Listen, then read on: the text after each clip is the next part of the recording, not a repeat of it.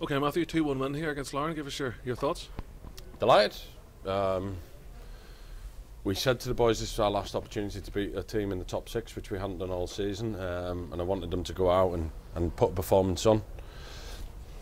Was it as classical football as we could play? Probably not. I thought first half we played some real good stuff and we were probably unlucky. Um, not to get the second goal, obviously, when, when Ben went round the keeper, and in the second half they showed guts and determination to defend. I think it's never a penalty. Thankfully, Jacob saves it. He makes a few other saves. It's a foul on Adam, leads up to the goal. But you know what? We didn't we didn't let it deter us today. We didn't let it put us down. We we stood up to be brave and, and continued and pushed on, and, and Lee got a good goal at the end. Have you seen a more sweetly st- uh, struck strike than Stephen Teggart in the first half? no, not at all. It was a wonder strike, wasn't it? And Stephen knocks his pan in all the time in training. He comes in for extra sessions. He was in on Sunday with Trevor doing some bits, and I said to Trevor, "If you've just been working on his left foot constantly, and Trevor no, was actually trying to make him make late runs into the box and not be shooting from 25 yards, but he should be shooting from distance. All our midfielders should be doing that because they've all great technical ability, but that was a wonder strike." Um, and, and I'm delighted for him because he's been patient, he's been in and out of the team, he's had a few injuries, niggle injuries over the course of the season, but today I thought for, certainly first half um, superb and, and a super goal. And the, the, the winner right at the end, yeah. Lee Bonus had the composure to stay stay calm and, and, and slot it home. It was a super goal. Um, obviously, you probably got a better angle than me, uh, obviously, over there, but I thought him and Adam worked hard to, to get the ball. Um, and then and then a good little interchange and, and a lovely finish and look, I spoke to Lee on Saturday and, and I spoke to him again prior to the game today and said, some days, Lee, you're going to have to let other people do the the hard work, the donkey word, uh, the donkey work for want of a better word, because we know against Larne we're probably going to not have a ton of the ball and it's going to be a lot of pretty much chasing and living off scraps for the majority of the game, as we did up at Larne. And I told him, but you came on at Larne and got us the equaliser. And I said, but you'll come on today and get the winner with 10 minutes to go. And as we were walking off, I don't know if you noticed it, he said, I told you, didn't I? I said, I'm sure it was me that told you. But anyway, we'll, uh, we'll not split hairs over that.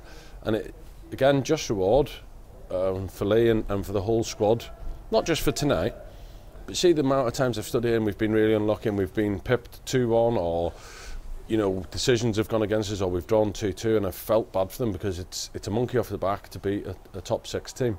Um, so today, I wish we'd have done it earlier because it might have inspired us for a little bit more in the season. But today is just reward for them. Now we're going into the games against the bottom six, knowing that we can beat the top teams um, or one of the top teams, and we've got to make sure that this we push on because they want the season just to peter out. I want to get as many points on the board as possible and, and really boost us for next season.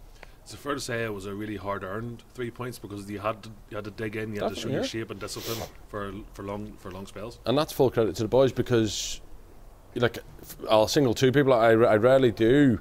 Um, Chris Lavery and Rory Crossgrey, right? And people probably watched if they've watched the game, they'll wonder how, why am I saying they done so well? Because all they done was defend. I have the two out and out forward players that I'm asking to double up with fullbacks because they overload both sides and they switch the play and they've got to track runners. They've got to get into the defensive box, but also they've got to go and support the play going the other way. And it's some shift to do that, not only physically, mentally. Um, and certainly Chris has been not in the team as much. Rory was in the team there, had a run of games, and, and he was out for the last couple. Um, so to come in tonight, them two in particular, and Stevie up front, you know, there was a whole host of them came in for the first game in a while. And to show that mental resilience and physical ability shows how much they look after themselves away from, you know, what we do. So I was delighted for them. Jacob Carney won the sponsors man of the match against two in a row now. He's won. He's, sure, his dad was the sponsor, wasn't he? He didn't pick it though. All right, I'll let him off. No, yeah, and he's fully deserved. He saved the penalty. He made numerous saves. He, he punched and cleared things, and one of the boys in there said to me, he's the one who won us the match in there, and and a full agreement with him. Um, and it, long may it continue. It's a pleasure having him here because he's he's a brilliant goalkeeper. We know that, but on top of that, he's a brilliant person. He's a super lad. You know, he could come here and be, look, I'm at United. He doesn't need this. He doesn't need to be th throwing himself about and getting booted in the head in a game for a team that's playing for ninth against a team that's going for Europe. But he does, and he doesn't need to do that. You know, he could just be gone back to Man United and, and just chilled out and sat there. But he's, you know, he's a desire to to better himself, better his career, and super. I'm, I'm delighted for him. Look, and he'll have a long career, and hopefully, you know, I mean, in years to come, we can say we had that lad here and we we helped progress his career because that's where how high I rate him. You talked over the weekend about trying to get fans back into the ground over the next wee while. Yeah. It's nights like this that they really would have enjoyed that lad last minute winner.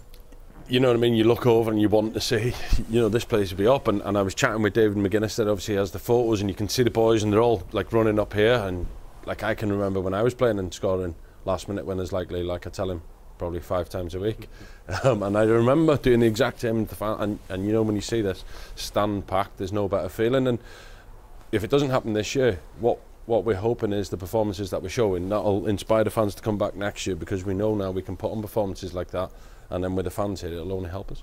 Good man, thank you.